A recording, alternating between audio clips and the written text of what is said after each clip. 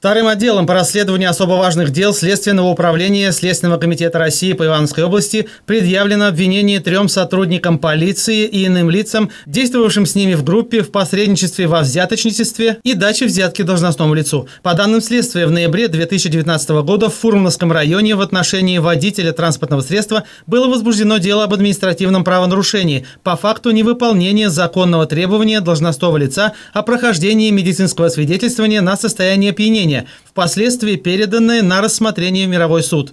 Действуя в интересах водителя, совершившего административное правонарушение, трое сотрудников полиции и иные лица передали должностному лицу в качестве взятки 60 тысяч рублей и заговоренных ранее 100 тысяч на изъятие из указанного административного дела оригиналов документов, имеющих значение для его рассмотрения.